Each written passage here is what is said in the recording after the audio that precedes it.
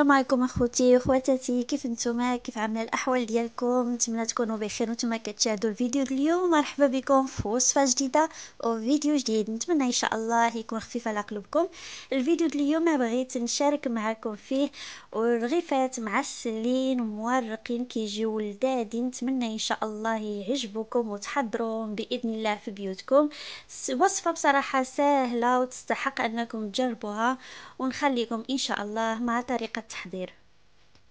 بالنسبة للمكونات نحتاج بإذن الله بيضة واحدة ملعقة صغيرة من خميرة آه، خاصة بالحلويات قليل من الملح يعني يغرق بصاد الملحة جوج مغارف كبارين ديال الزبدة وكاس بقياس كأس العنبة من الحليب ما يكونش بارد وما يكونش سخون يعني يكون آه، حليب عادي.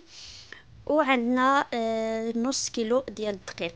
بالنسبة للحشوة اللي غنحتاجو غنحتاجو شوية د اللوز سبق لي سلقته وقليته وهربشته على هاد الطريقة هذه هيدا خصو يجي ما يجيش مطحون وما يجيش يعني طروفة كبارين. عندي مايزينا وعندي العسل غيبقى لنا للتزيين إن شاء الله. ونبداو على بركة الله. كنخلطوا المكونات اللي ذكرتها معكم مع بعضيتهم. أول حاجة اللي كنخل اللي كنضيفوها للطحين عفوا هي قبيصه الملحة وشوية شوية الخميرة الحلويات. وكنضيف الزبدة. حتى كنرملو مزيان الدقيق ديالنا مع الزبدة وكتدخل معاه عاد كنضيفو الحليب. وكنبقاو نخلطو حتى كتندمج لنا المكونات كاملين مع بعضيتهم. ومن بعد كنخليو آخر حاجة اللي هي بيضة. عاد كنضيفوها حتى كنخلطو مزيان المكونات مع الحليب.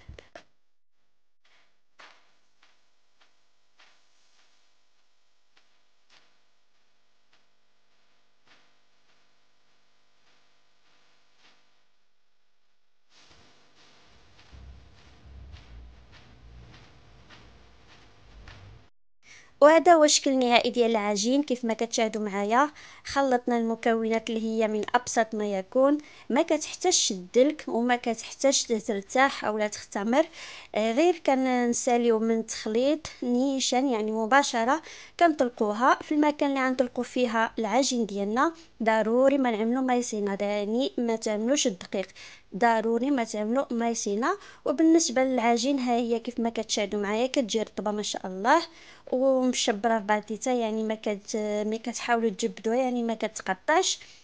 وكنحاولوا نطلقوا العجين ديالنا حتى كنرجعوا العجين رقيقة بزاف.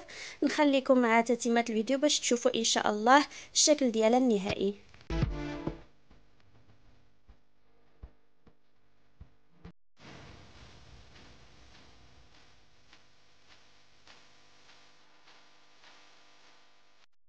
ومن بعد ما طلقنا العجين ديالنا المتابعين ديالي كيف ما كتشاهدوا معايا عفوا خدينا اللوز اللي سبق اللي ذكرته معكم يعني آه، واحد القدر صغير ماشي بزاف د اللوز خديته فوق العجين وكيف ما كتشاهدوا ضروري ما نطلقوه مزيان حتى يتشبر في العجينة ديالنا باش ما كيفلتش يعني ضروري خصو يجي وسط العجين. باش يجي وسط العجين كنحاولوا نطلقوه بالمطلق. ومن بعد كناخذ مايزينا وكنحاول نسرحها باليدين ديالي. وكنبقى نحربل العجين على هذا الشكل هذا حتى كنسالي.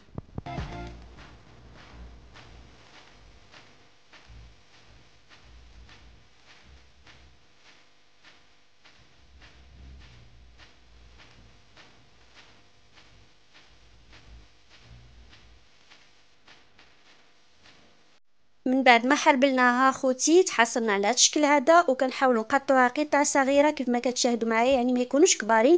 وإذا عملتهم كبارين يعني غيجيوكم رغيفات كبارين يعني كبارين في الحجم. وإذا عملتهم يعني قطعتهم على شكل صغار كيف ما كتشوفوا معايا. أنا قطعتهم ما بين وبين يعني ماشي صغارين ماشي كبارين. كيجيو آه، يعني متوسطين الحجم كيف ما شاهدتوا معايا في الصور في البداية ديال الفيديو. من بعد ما ساليت من التقطاع هادو يعني أنا خديت نصف الكمية عملتها على شكل دوائر ونصف الكمية عملتها على شكل لاصوات كيف ما شاهدتوا معايا في التصاور.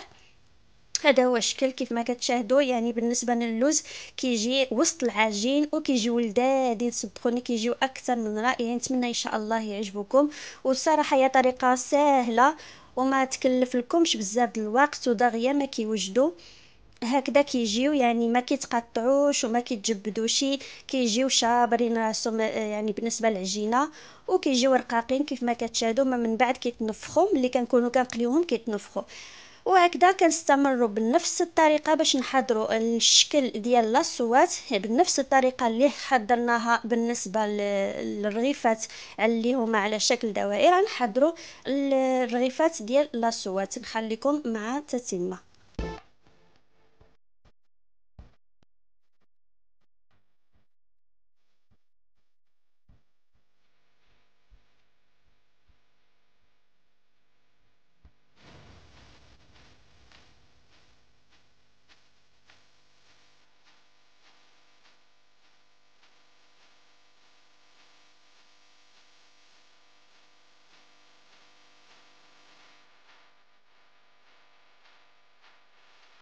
وهنا خوتي غنحاول نشكل إن شاء الله لاصوات حاولت نكبر يدي شوية باش يجيوني لاصوات كبيبه شتيتو ولكن نتوما على حسب ذوقكم تقدروا تخليوهم العبار ديال اللي حبيتو يعني تعملوهم ستيتوين ولا كبارين.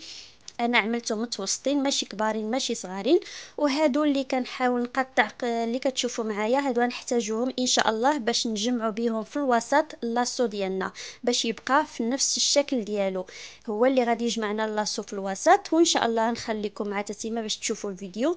وهاد هاد اللاصوات كنحاولوا نطلقوهم على شكل طولي يعني ما من نطلقوهمش على شكل دائري كيف ما كتشاهدوا ما يكونوش ويش طوالين. وكنبقاو نجمعو في الوسط شوية بشوية. ملي كنجمعوهم كناخدو نقيطة د الماء يعني غير شوية د الماء في ديك في ديك الوسط ديالو كنعملو الماء كيف ما كتشاهدوا معايا باش كيحاول ديك العجينة كتبقى في ملصقة مع بعضيتها. ومن بعد كنعملو هذيك العجين اللي طلقناه في الأول هي هذه كنجمعوا بها لاصو ديالنا من الوسط وكنلصقوه مع بعضيتو بشوية د الماء. وكان هذا هو الطريقة يعني كانت هذه الطريقة سهلة صراحة وكيجي منظر مزيون نتمنى يعجبكم وتحضروه لبيوتكم في بيوتكم لوليداتكم ولا الاحباب ديالكم ولا عائلتكم إن شاء الله. ونتمنى تكون خفيفة على قلوبكم. كانت هذه طريقة صراحة سهلة وهادو يعني ما كيرتاحوش. غير تساليو نيشان يعني مباشرة تبداو تقليوهم. غير شنو الزيت ضروري ما يكون سخون ما يكونش سخون بزاف ولكن ضروري ما يكون سخون يعني بتجربة باش تعرفوه سخان ولا مازال تاخذوا واحد قطعة صغيرة ديال العجينة كيف ما عملت معكم أنا. وهنا كنعرفوه باللي راه طاب وكنعملو الرغيفات ديالنا.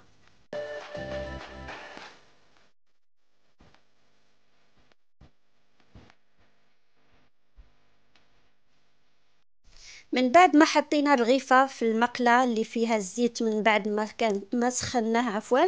كنبقاو نرشوا على الرغيفه ديالنا ضروري ما نرشوا عليها. علاش؟ باش كتحاول كتبقى تنفخ شوية بشوية وكيدخل معاها الزيت وكتحمر يعني كتجي مهششه ضروري ما تبقاو تطلقوا عليها شوية الزيت هكذا حتى كيتبدل اللون يعني ما كيبقاش على شكل عجينة عاد كنخليوها طيب على الخطر ديالها ولكن على على بوطة يعني العافية تكون متوسطة ما تكونش مهيلة وما تكونش مجهده وهكذا كنستمروا بنفس الطريقة بالنسبة للصوات كنعملوهم يعني عادي فوق المقلة وكنبقاو نرشوا عليهم الزيت ملي كنشوفوا داك العجينة ما بقاش اللون ديالها يعني نفس اللون ديال العجينة يعني حيت كيتبدل شوية ملي كنبقاو نرشوا فيها الزيت كنقلبوها من جهه أخرى وهكذا كنستمروا حتى كنساليو غير شنو الحاجة الوحيدة اللي خصكم تعملوها. يعني ملي طيبنا آه كل رغيفة مباشرة ملي تحطوها تنزلوا أو تدهنوها بالعسل.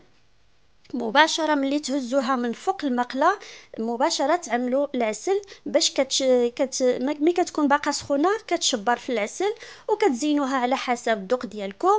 وكيبقى التقديم على حسب اللي متوفر عندكم في البيت. أنا زينتها بشوية ديال اللوز مهرمش وواحد حبات ديال اللوز بالنسبة للصوات وبالنسبة للدوائر ديال آه، أو آه، بالنسبة للرغيفات اللي هما على شكل دوائر. حتى هما زينتو من الجوانب اللوز وبحبة في الوسط نتمنى تكون التشكيله اليوم عجبتكم وطريقتي الخاصة. في تحضير الرغيفة تكون عجبتكم.